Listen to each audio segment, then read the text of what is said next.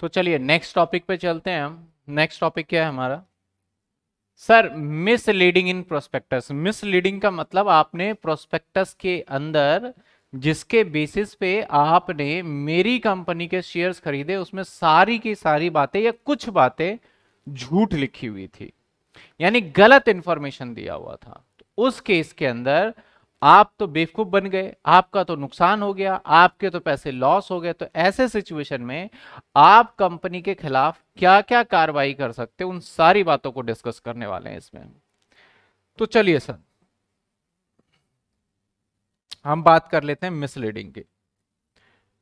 तो मिसलीडिंग के केस के लिए एक आपको ना केस में समझाता हूँ कि होता क्या है मिसलीडिंग एक्चुअल और काफ़ी इंपॉर्टेंट है रेक्स वर्सेस कालियासेंट एक केस है जो कि लीडिंग लॉ है। नॉर्मली हुआ क्या कि जो रेक्स कंपनी थी, जो कंपनी थी, कंपनी ने क्या करा था कि अपने प्रोस्पेक्टस में ये बात बोली कि हमने डिविडेंड पेड किया है। अगर मैं बोलूँ कि इसी साल जो पुराने मेरे शेयर होल्डर थे, उसको मैंने डिविडेंड दिए हैं। इसी साल। आपके प्रोस्पेक्टस में लिखा है कि मैं डिविडेंड कभी भी फेल नहीं हुआ। इस बार भी डिविडेंड दिए हैं कोविड में भी डिविडेंड दिए हर बार डिविडेंड दे रहा हूँ। तो आपको क्या फील आएगा? आप सोचोगे डिविडेंड दे रही है तो डिविडेंड तो प्रॉफिट से दिया जाता है। तो कंपनी में प्रॉफिट होगा ही होगा, ये समझोगे। लेकिन जब एक्चुअल पता चला एक शेयर होल्डर को कि भैया इसने जो पूरा पढ़ा और पता किया तो पता चला कि डिविडेंड इसने प्रॉफिट में से नहीं दिया। जो इनके रिज़र्व पड़े हुए थे पहले कभी, उसमें से निकाल के दे दिया शेयर इशू करने के लिए। और जबकि कंपनी को इस साल तो लॉस हुआ है। अगर मैं बोलूँ मेरी कंपनी के अंदर इस साल लॉस हुआ है, इन्वेस्टमेंट करो तो आप नहीं करोगे। तो उसने इस बातों को छुपाया। तो उस लीडिंग केस में कोर्ट का वर्डिक आया कि भैया ये मिसलीडिंग ऑफ़ प्रोस्पेक्टस है और जो भी इसका कंपनसेशन है वो सारा दिया जाए। तो फैक्ट केस का क्या था? यही केस मैंने समरी करा है। एग्ज़ाम में पूछा जाएगा ये case. In the prospectus of the company it was stated that company has regularly paid dividend हर बार डिविडेंड दे रहा है। और during the last several year when the company actually has been incurred substantial loss or company had the convert loss into the profit by right, return back some of the past provision create कुछ पुराने जो कि reserve थे, जब company का दौर अच्छा चल रहा था, तब के रिज़र्व को वो यूज़ कर रहा था। तो कोर्ट का वर्डिक आया कि भाई इसके अंदर जो फैसला गया किसके फेवर में, जो शेयर होल्डर था, उसके फेवर में गया। बोला गया कंपनी तुमने तो मिसलीडिंग करा है इसके साथ। ठीक है? ये था हमारा मिसलीडिंग अब सर मिसलीडिंग प्रोस्पेक्टस एक और केस है। पीक वर्सेस गुरने की। समझिए था क्या? अब इस केस के अंदर मान लेते हैं मिस्टर एक्स को X Y Z limited company के अंदर पता है कि इसके अंदर कुछ इसके प्रोस्पेक्टस में गड़बड़ी है। और इसे पता चल गई ये बात। इसने इस कंपनी के शेयर्स को खरीदा ही नहीं। इसने इस कंपनी के शेयर्स को नहीं खरीदा। जब इसने इस कंपनी के शेयर्स को नहीं खरीदा, उसके बाद लेकिन इस कंपनी के शेयर्स को मिस्टर ए ने खरीद लिया। नाउ, एक्स क्या करता है? कंपनी से ना खरीद के ए से शेयर खरीद लेता है और जब कंपनी बाइंडिंग अप पे जाता है तो एक्स बोलता है, भाई, मैं तो लाइबल ही नहीं हूँ, क्योंकि इस प्रोस्पेक्टस में ही मिस स्टेटमेंट था। तो इस केस में कोर्ट का जजमेंट आया कि, भाई, आपने जो खरीदा था शेयर, वो सेकेंडरी मार्केट से खरीदा था, यानी शेयर मार्केट ने दूसरी बार खरीदा है। तो जो फ़र्स्ट टाइम सिर्फ़ खरीदेगा ना प्रोस्पेक्टस को पढ़ के जो शेयर खरीदेगा, उसके लिए यहाँ पे रेमिडीज अवेलेबल है। उसके लिए हम कुछ कर सकते हैं। आपने तो इसको सेकंड मार्केट से खरीदा है तो आपका प्रोस्पेक्टस का कोई रोल नहीं है, आपने सिर्फ़ और सिर्फ़ पैसा बनाने के लिए खरीदा था। तो ये केस था हमारा पीक वर्सेस गुरने का, कहता है फैक्ट ऑफ़ द केस कहता है, Gurney issue the fraudulent prospectus behalf of the company no share were purchase by Peek at the time मतलब कोई भी शेयर नहीं खरीदा गया। Several month alternative Peek purchase 2000 share company from the stock exchange यानी company ने stock exchange से 2000 के शेयर खरीदे। He bought an action against the director for deceit मतलब इसने बोला कि भाई मैं डायरेक्टर के अगेन एक्शन लूँगा कंपनी ने फ्रॉड कर रखा है तो कोर्ट का वर्डिक है, भाई आप नहीं ले सकते।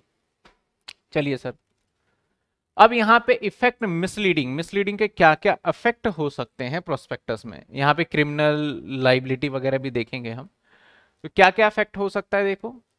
अब रेमेडीज शेयर होल्डर को, जब इससे इफ़ेक्ट होगा तो किस किस को बेनिफिट मिलेगा? रेमेडीज का मतलब आपके पास क्या तरीके हैं कि अपने चीज़ों को रिकवर कर पाओ आपका हो गया नुकसान, मैंने झूठ बोला तो आपके पास क्या प्रावधान है? जैसे किसी ने आपको किसी ने मान लेते हैं कि कोई आपके साथ धोखाधड़ी करा है तो आपके पास क्या ऐसा प्रोविज़न है कि कोर्ट में जाके या पुलिस थाने में कंप्लेन कर दो? क्या क्या सेक्शंस हैं? क्या क्या किससे बच, आप उसके अगेंस्ट अपना लॉस या कुछ भी जो धोखाधड़ी हुआ रिकवर कर सकते हो?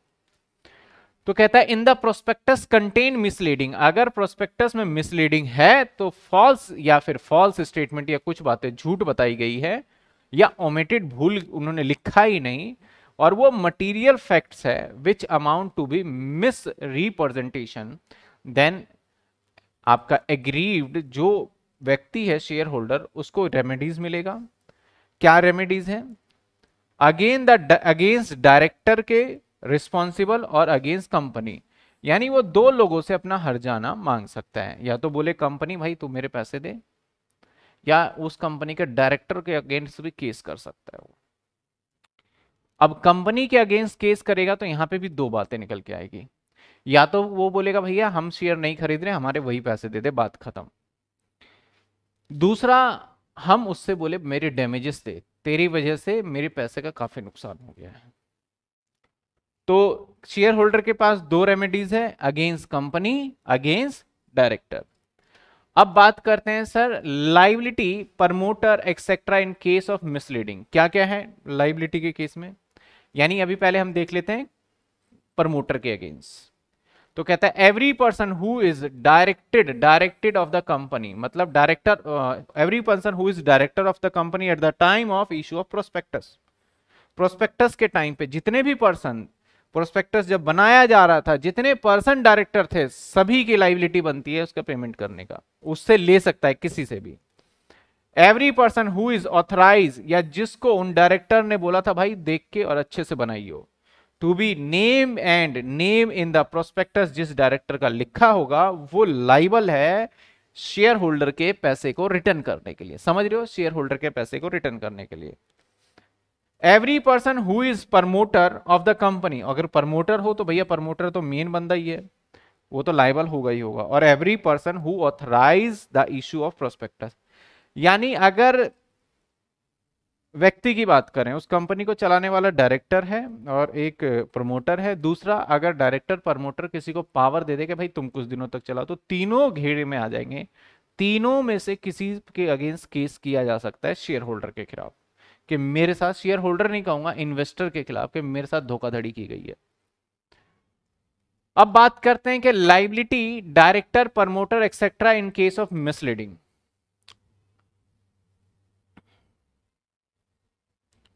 तो कौन कौन से टाइप का लाइबिलिटी बनता है सर क्रिमिनल लाइबिलिटी है और सिविल लाइबिलिटी है और एक लाइबिलिटी अंडर जनरल लॉ है। क्रिमिनल लाइबिलिटी मतलब सर, एक तरीके से आप फ्रॉड करोगे तो क्रिमिनल क्रिमिनल मतलब बदमाश। आपने मेरे साथ धोखाधड़ी किया तो उसे क्रिमिनल बोलते हैं। सिविल मतलब आप रूल रेगुलेशन को फॉलो नहीं कर रहे तो civil liability sir, criminal liability section 34 के अंदर है और क्रिमिनल लाइबिलिटी किस किस के लिए है? देखते हैं। कहता है where a person issue circulated distributed मेरे होपफुली आपको नहीं विजुअल हो तो मैं पढ़ रहा हूँ, आपको समझ में आ जाएगा।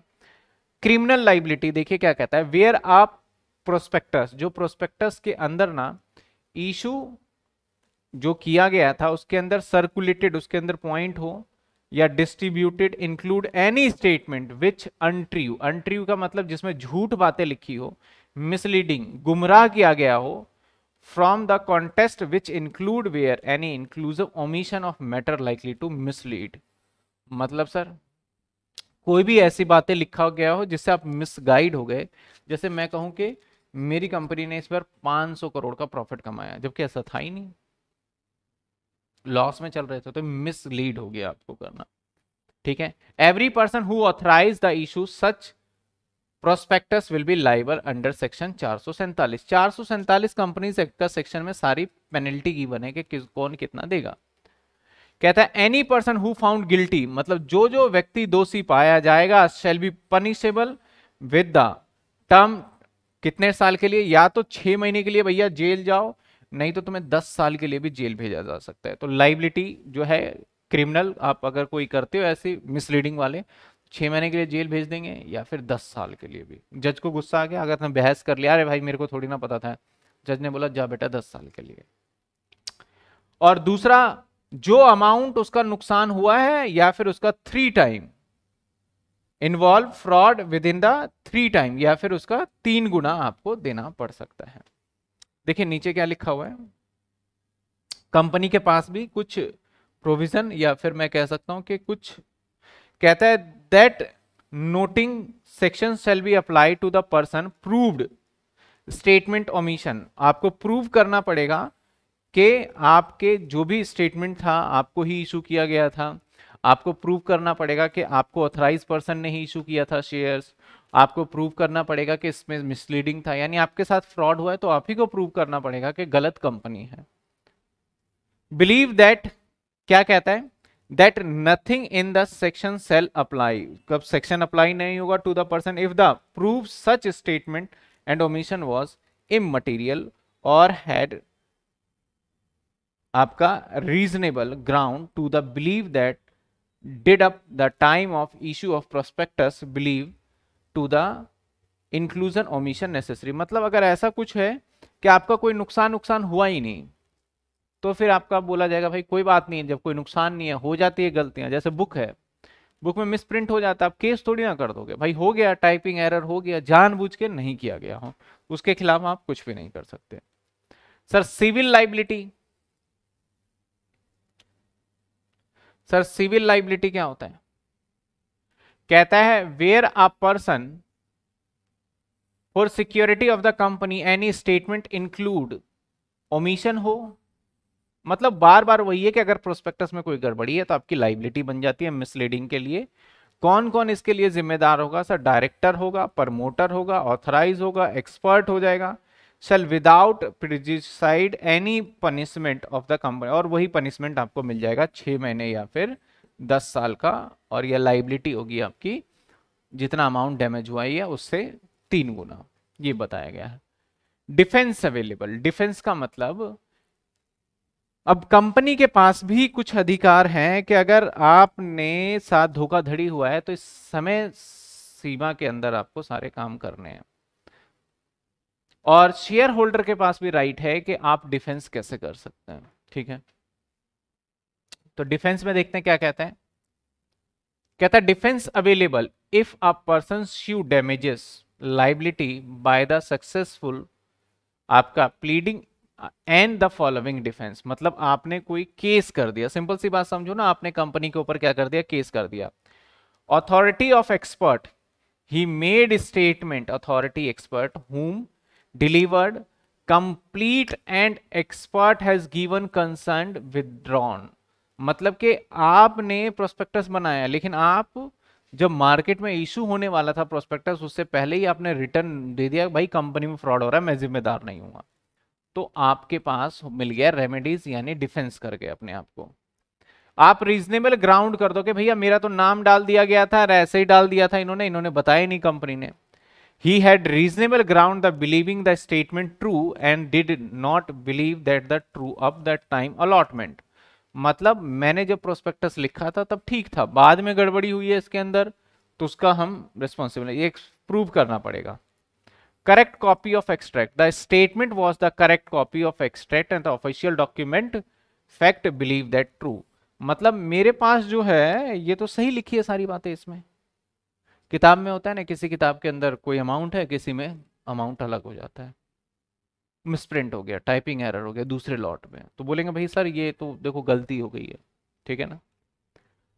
कंसर्न विड्रॉन आपने अपना कंसर्न विड्रॉल कर दिया। द हैविंग द कौन consent become director withdrawal his concern become director before issue prospectus prospectus issue करने से पहले ही बोल दे, भैया, मैं जिम्मेदार नहीं हूँ, मैं नहीं बन रहा जा इसका रिस्पॉन्सिबल तो आप उसके खिलाफ केस नहीं कर सकते।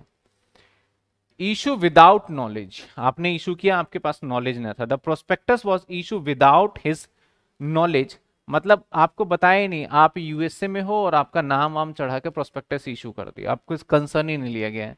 क्योंकि आज आजकल डिजिटल सिग्नेचर होते हैं, मैंने बोला, ये भी डायरेक्टर बना लेते हैं। और बोले, आएँगे तो उसको सरप्राइज़ करेंगे। तो फिर वो बोलेगा, सर, मुझे तो पता ही नहीं था तो मैं भी इस केस के अंदर, मेरा भी डिफेंस हो जाएगा। तो ये वो वो डायरेक्टर के खिलाफ डिफेंस अवेलेबल है कि वो लाइबल नहीं होगा, उसके खिलाफ केस करोगे तो आप हार जाओगे case. Sir, liability of the company, दो लाइबिलिटी है कंपनी के लिए, और शेयर होल्डर के पास दो रेमेडीज अवेलेबल है। शेयर होल्डर कंपनी की लाइबिलिटी दो मतलब के शेयर होल्डर एक तो ये क्या क्या कर सकता है? राइट टू रीसाइन मतलब बोल सकता है, भाई, मेरा कॉन्ट्रैक्ट तोड़ दो पैसे। और दूसरा हो सकता है कि वो डैमेज का डिमांड कर ले। कहता है the share holder who purchase share जिसने खरीदा on the basis of misleading prospectus has two rights against the company under the general law general law में दो राइट्स अवेलेबल है। राइट टू रिसाइंड का मतलब होता है कॉन्ट्रैक्ट तोड़ देना कि भैया जो भी कॉन्ट्रैक्ट किया था, अब ये कॉन्ट्रैक्ट नहीं वैलिड है। कब कब? मटीरियल फैक्ट्स यानी आपको नुकसान तगड़ा हो गया है। The statement which include the share holder to subscribe share must related to be material facts immaterial नहीं होना चाहिए not an expression in opinion मतलब ऐसा नहीं होना चाहिए कि आपको, मुझे लग रहा है कि इसके साथ नुकसान होगा, इसलिए मेरा कॉन्ट्रैक्ट कैंसिल कर दो। कल मुझे लग रहा है तुम्हारी कंपनी बंद हो सकती है। ऐसा नहीं। हो चुका हो। और मटेरियल के मतलब ऐसी घटना हो जिससे वाकई ही फ़र्क पड़ा हो, उससे मटेरियल बोलेंगे। कहता है फॉल रिप्रेजेंटेशन कहता the statement which has include any party subscribe the shares have been untrue untrue का मतलब उसमें झूठ बातें लिखी गई थी मिसलीडिंग तो बार बार यही बातें दोहराई जा रही है।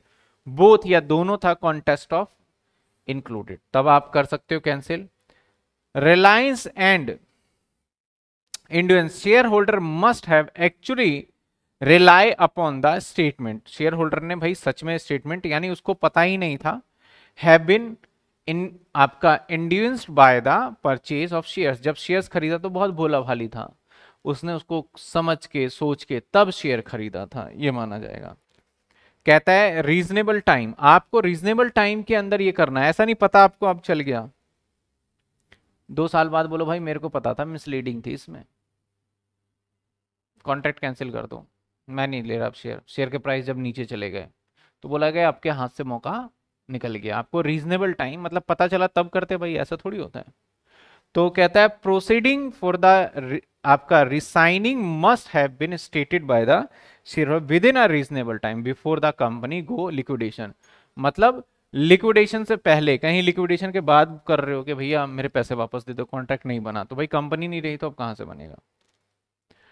अब है लॉस राइट आपको राइट खत्म हो जाएगा, आप कैंसिल ही नहीं कर सकते पहले जितने भी आपको मिले थे ना मौके के, आप प्रोस्पेक्टस और कंपनी का आपका जो कॉन्ट्रैक्ट हुआ है, उसको कैंसिल कर सकते हो। अब आपके राइट्स गए। अब नहीं कर पाओगे कैंसिल कब कब नहीं कर पाओगे?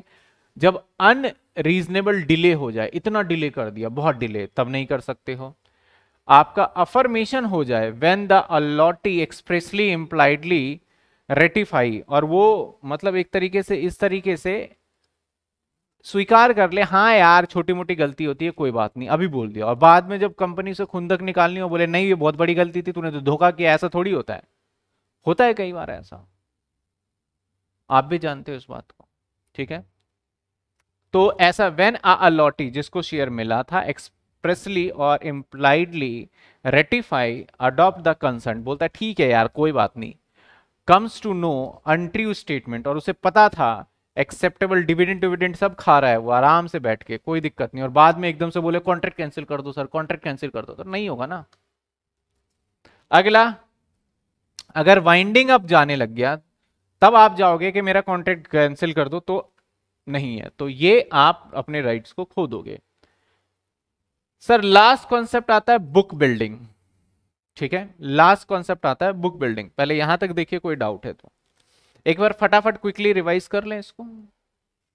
और मैं सिंपल सी बात करता हूँ ना बहुत सिंपल सी बात क्या है ये? इतनी सारी बातें लिखी तो है।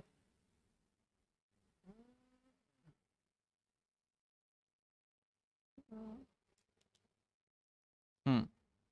सबसे पहले सिंपल सी बात सुनो। भाई मिसलीडिंग क्या होता है? प्रोस्पेक्टस के अंदर झूठी जानकारी दे देना या आप ऐसा आ, या लिखना भूल गए यानी इनकम्प्लीट इन्फॉर्मेशन इस पे केस स्टडी भी था। एक ने बोला कि भैया, मैं हर साल डिविडेंड देता हूँ। ये बताया नहीं कि रिज़र्व से दे रहा है तो उस केस के अंदर मिस स्टेटमेंट हो जाएगा और आप फिर वो कॉन्ट्रैक्ट कैंसिल कर सकते हो। लेकिन आप प्राइमरी मार्केट से शेयर्स को खरीदना, अगर आपने सेकेंडरी मार्केट से शेयर्स को खरीदा है तो फिर अवेलेबल नहीं है, सिर्फ़ प्राइमरी मार्केट के लिए। ये पीक वर्सेस के केस था हमारा। मिसलीडिंग के क्या इफ़ेक्ट हो सकते हैं सर मिसलीडिंग के केस में आप डायरेक्टर या कंपनी कंपनी से भी अपने हरजाना मांग सकते हो? और आप डायरेक्टर से भी मांग सकते हो हरजाना। सर क्या क्या हरजाना मांगा जा सकता है? अगर मैं बात करूँ क्या क्या मांगा जा सकता है? जो आपका नुकसान हुआ है, या फिर आपने बहुत ज़्यादा सख्ताई दिखाई तो छह महीने या दस साल के लिए जेल भेज दो प्रमोटर को। सर अब इसके बाद क्या था? यहाँ पे आपके पास क्रिमिनल लाइबिलिटी है जनरल लाइबिलिटी है और सिविल लाइबिलिटी है। सर क्रिमिनल लाइबिलिटी अगर आप करते हो तो भैया जाओगे जेल और जाओगे लंबा छह महीने या फिर दस साल, या फिर आप तीन थ्री टाइम्स आप दे दो। सिविल लाइबिलिटी किसके ऊपर होगा? किसके ऊपर सिविल लाइबिलिटी भैया? कंपनी उसके प्रमोटर और एक्सपर्ट ये तीन मेनली यानी प्रमोटर वो तो है ही है इन्वॉल्व उससे रिकवर कर सकते हो डायरेक्टर से रिकवर कर सकते हो, और जो एक्सपर्ट था या फिर जानता था इस बात को ऑथराइज पर्सन था, उससे भी किया जा सकता है। सर, डिफेंस क्या अवेलेबल है? अगर डायरेक्टर इसके अंदर खुद बोल दे कि भाई, मेरे को पता ही नहीं था, मेरे बिना परमिशन के प्रोस्पेक्टस इशू हो गया तो बच जाएगा। डायरेक्टर अगर बोल दे कि भाई प्रोस्पेक्टस इशू होने से पहले कि भाई, मैं बोल रहा हूँ कि मैं नहीं इन्वॉल्व हूँ इस प्रोस्पेक्टस में कंपनी वाले अपनी मर्ज़ी चला रहे हैं तो बच जाएगा वो। सिंपल सी बात है। और अगर करेक्ट कॉपी एक्सट्रैक्ट और उसके पास डायरेक्टर ने जो कॉपी देखा था, वो करेक्ट था, बाद में मिसप्रिंट हो गया तो भी बच जाएगा डायरेक्टर लेकिन प्रूफ करना होगा डायरेक्टर को। सर लाइबिलिटी कंपनी के अगेंस्ट कितनी होती है? सर दो लाइबिलिटी होती है। या तो भैया कॉन्ट्रैक्ट को कैंसिल कर दो, या फिर आप मेरे पैसे दे दो डैमेजेस डैमेज क्या? वही जितना आपका डैमेज हुआ है, वो कवर कर सकते हो। कैंसिल करने की बात करें तो आपके पास एक तो रीजनेबल टाइम में आपको बता देना है कि भैया मेरे साथ फ्रॉड हुआ है मटेरियल फैक्ट्स होना चाहिए और फॉल्स स्टेटमेंट होना चाहिए रीजनेबल टाइम के अंदर बताना है। अगर आपने रीजनेबल टाइम ये सारी चीज़ें फॉलो नहीं किए तो आपका हाथ से निकल जाएगा। ये आप केस नहीं मतलब कि के कैंसिल नहीं कर पाओगे। डैमेज तो ले सकते हो, लेकिन कैंसिल नहीं कर पाओगे।